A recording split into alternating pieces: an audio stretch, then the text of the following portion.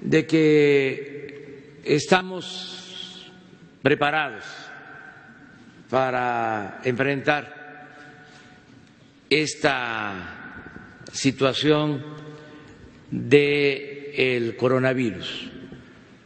Eh, tenemos eh, los médicos, los especialistas, los hospitales, eh, la capacidad para hacerle frente a este caso del coronavirus.